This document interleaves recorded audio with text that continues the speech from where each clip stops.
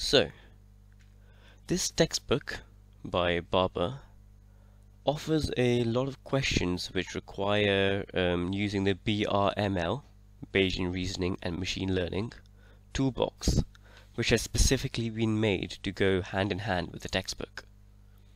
A lot of the questions require using um, the functions and the um, utilities in this package, so we are quickly going to learn how to add this um, package to your MATLAB.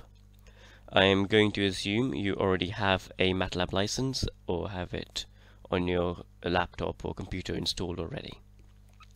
So first thing you do is navigate to this web page. The link is given below.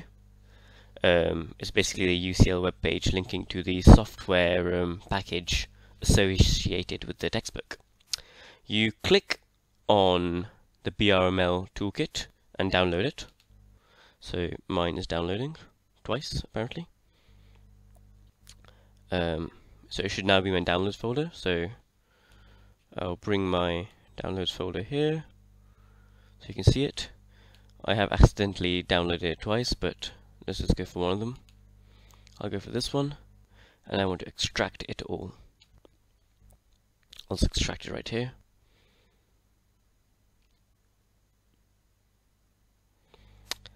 Now, bear with me as it, as it extracts. Seems to be quite um, hefty.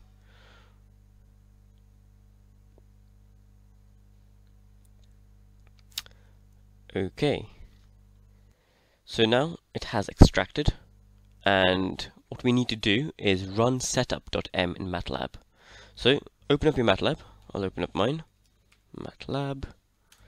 Mine is the 2018 version. I shall drag it onto the screen. Um, as I'm sure many of you know, MATLAB can be quite slow at opening up, especially on my laptop. But here we are. So check where we are, ls, and go into my downloads, downloads folder. So change directory to downloads. Check if we're in the correct place, correct, and we want to go into BRML toolkit because I know that's where setup.m exists. cd RML toolkit. Now let's check everything is there. Good, and there is setup.m. So let's just straight out run it. Whoops. Just set up. And if we want to be able to use the functions in the toolkit, we do have to actually import everything. So it's import, as it says, import BMRL BRML dot star. And that should do it. So now any of the functions they have for example I don't know I could try JTree or table. I'll try table. It should give me something.